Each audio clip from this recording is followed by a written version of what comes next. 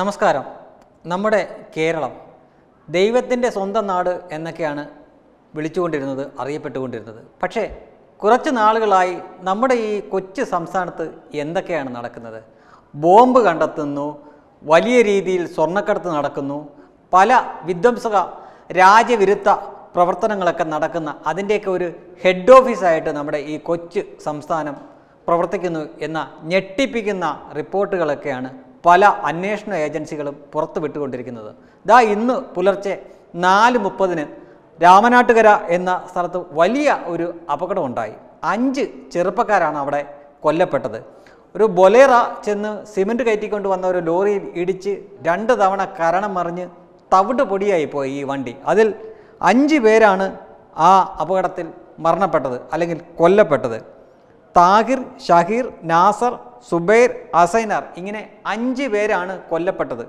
ഏറ്റവും രസകരമായിട്ടുള്ള സംഗതി പതിനഞ്ചോളം വണ്ടികളുണ്ടായിരുന്നു. ഇവർ ചേസിങ് നടത്തി എന്നൊക്കെയാണ് ഇപ്പോൾ പോലീസുകാർ പറയുന്നത്. അതായത് ഇനിയാണ് ഇതിലെ കാതലായ ഭാഗം വരുന്നത്. ചരൽ ഫൈസൽ എന്ന മയക്കുമരുന്ന് മാഫിയക്കാരന് എസ്കോട്ടായി പോയവരാണ് അപകടത്തിൽപ്പെട്ടത് എന്നാണ് കേരള പോലീസ് പറയുന്നത്. ശ്രദ്ധിക്കണം. അഞ്ചു പേർ കൊല്ലപ്പെട്ട ഒരു വലിയ സംഭവമാണ്. നമ്മുടെ ഈ കോവിഡ് മഹാമാരി പോലെയുള്ള ഈ സംഗതി നമ്മുടെ ഇന്ത്യയിൽ പതിനായിരത്തിന് മുകളിൽ കേസുകൾ ഇപ്പോഴും നിലനിൽക്കുന്ന ഈ കേരളത്തിൽ ഇത്രയും നിയന്ത്രണങ്ങളൊക്കെ ഉള്ളപ്പോൾ ഈ കൊല്ലപ്പെട്ട അഞ്ച് പേർ സഹിതം അതിലുണ്ടായിരുന്ന ബഹുഭൂരിപക്ഷം ആളുകളും നിരവധി കേസുകളിലെ പ്രതികളാണ് ക്രിമിനലുകളാണ്. ഇത് പറയുന്നത് ഞങ്ങളല്ല പോലീസാണ്. നമ്മുടെ ഈ കൊച്ചു സംസ്ഥാനത്ത് ഇത്തരം ആളുകൾക്ക് സ്വൈരവിഹാരം നടത്താൻ പറ്റുന്നു എന്നിടത്താണ് ഒരു സാധാരണ ഒരു സാധാരണ വോട്ട് ചെയ്യുന്ന ഒരു ഒരു സാമാന്യ ജനം എന്ന സ്ഥിതിയിൽ ഏതൊരു വ്യക്തിക്കും ചോദിച്ചു പോകുന്നത് ഇവിടെ ഒരു ഭരണമുണ്ടോ? ഇവിടെ ഒരു ആഭ്യന്തരമന്ത്രിയുണ്ടോ? ഇവിടെ നിയമപാലകരുണ്ടോ എന്തെടുക്കുകയാണിവർ അവർ പറയുന്ന ഭാഷ്യം ഇനി കേൾക്കുക.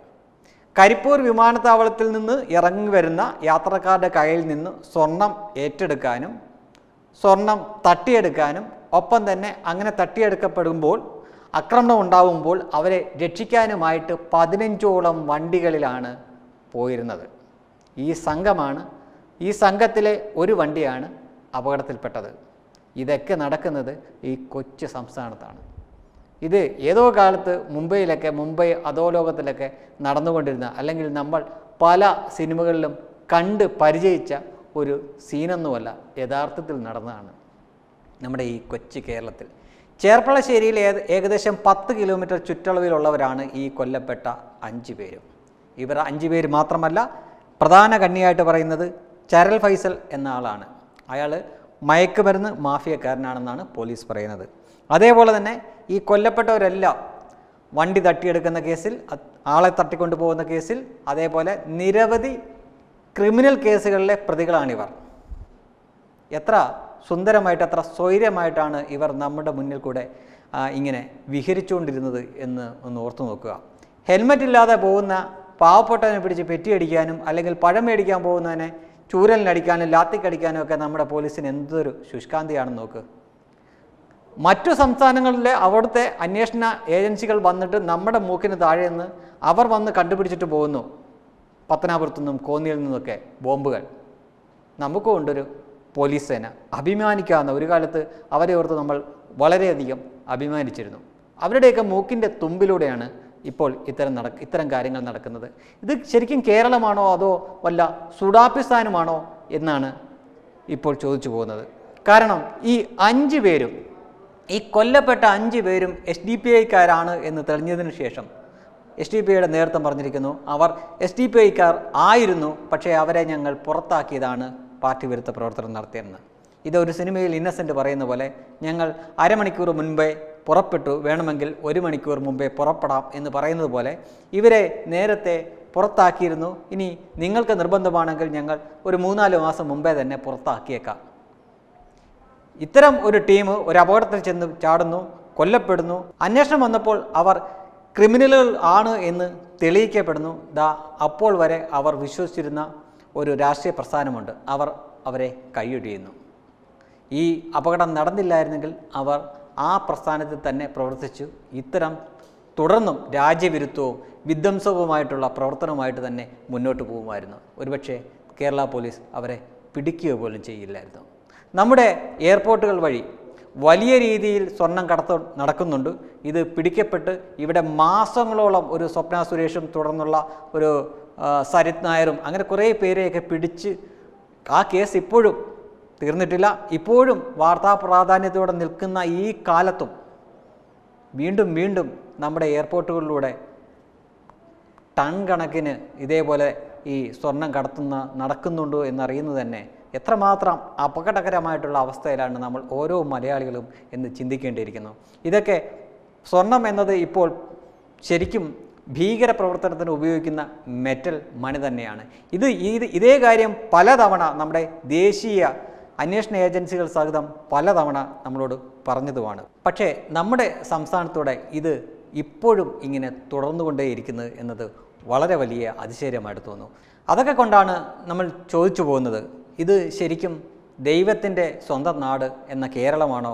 അതോ ഇനി ശരിക്കും ഇത് സുഡാപ്പികളുടെ വല്ല അധോലോക സ്ഥലം വല്ലവാണോ ഈ അടുത്ത കാലത്തായിട്ട് നടക്കുന്ന പല കാര്യങ്ങളും ശ്രദ്ധിച്ചു നോക്കിയാൽ നമുക്ക് മനസ്സിലാക്കാൻ പറ്റും.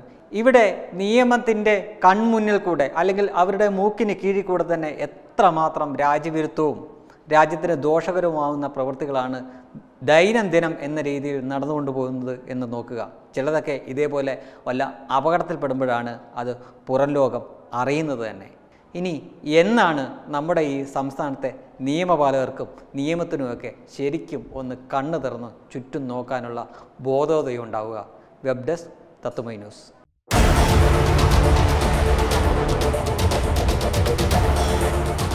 Tatwamayi T വിയുടെ പുതിയ ഒരു വാർത്താ പ്രക്ഷേപണ പരിപാടിയായിട്ടുള്ള ഹോട്ട് ലൈൻ ആരംഭിക്കുന്നതായിട്ട് അറിഞ്ഞു വളരെ സന്തോഷമുണ്ട്. കാരണം ഇന്നേക്ക് ഒരു ദശാബ്ദങ്ങൾക്ക് മുമ്പ് ശ്രീ രാജേഷ് പിള്ള നേതൃത്വം നൽകിയ ഹോട്ട് ലൈൻ പരിപാടിയിൽ സ്ഥിരമായി പങ്കെടുക്കാൻ ഭാഗ്യം ലഭിച്ചിട്ടുള്ളൊരു പൊതുപ്രവർത്തകനാണ്. അത് പ്രേക്ഷകരുമായിട്ട് ഏറ്റവും ചൂടുള്ള ഏറ്റവും വർത്തമാനകാല പ്രസക്തി ഉണ്ടായിരുന്ന വിഷയങ്ങൾ. പ്രേക്ഷകരുമായിട്ട് നേരിട്ട് സംവദിക്കാൻ പറ്റുന്ന ഒരു അപൂർവ വേദിയായിരുന്നു അന്നത്തെ ഹോട്ട്ലൈൻ. അതിൽ കേവലം ചർച്ച ചർച്ചകളും അതോടൊപ്പം തന്നെ അങ്ങോട്ടും ഇങ്ങോട്ടുള്ള ആക്രമണങ്ങളും ആയിരുന്നില്ല. അതിലുപരി ഒരു വിഷയത്തെക്കുറിച്ച് മാത്രം ഒരു മണിക്കൂർ ചർച്ച ചെയ്യുക ആ വിഷയത്തിന്റെ ആധികാരികതയിലേക്ക് പോവുക ആ വിഷയവുമായി ബന്ധപ്പെട്ട ഉത്കണ്ഠകൾക്ക് പരിഹാരം കാണുക. അങ്ങനെയുള്ള മാതൃകാപരമായിട്ടുള്ള ഒരു ചർച്ചാ വേദിയായിരുന്നു. ആ വേദി പുനരാവിഷ്കരിക്കുന്ന തത്വമയി ടി വിക്ക് ഒരായിരം അഭിവാദ്യങ്ങൾ അർപ്പിക്കുകയാണ്. അതിന് നേതൃത്വം നൽകുന്നത് ഈ കേരളത്തിലെ മാധ്യമരംഗത്ത് ഇങ്ങനെയുള്ള ഒരു സംവാദ സംവാദത്തിന് നേതൃത്വം നൽകി അതിന് മാതൃക സൃഷ്ടിച്ച ശ്രീ ശ്രീ രാജേഷ് പിള്ള ആണ് എന്നുള്ളത് ഏറെ സന്തോഷം നൽകുന്നു. ശ്രീ രാജേഷ് പിള്ളയ്ക്കും തത്വമയിക്കും ഈ ഹോട്ട് ലൈൻ വാർത്താ പ്രക്ഷേപണ സംവിധാനത്തിനും എല്ലാവിധമായിട്ടുള്ള ആശംസകളും ഭാവുകങ്ങളും നേരുന്നു. എല്ലാവിധമായ സഹായങ്ങളും വാഗ്ദാനം ചെയ്യുന്നു. നമസ്കാരം.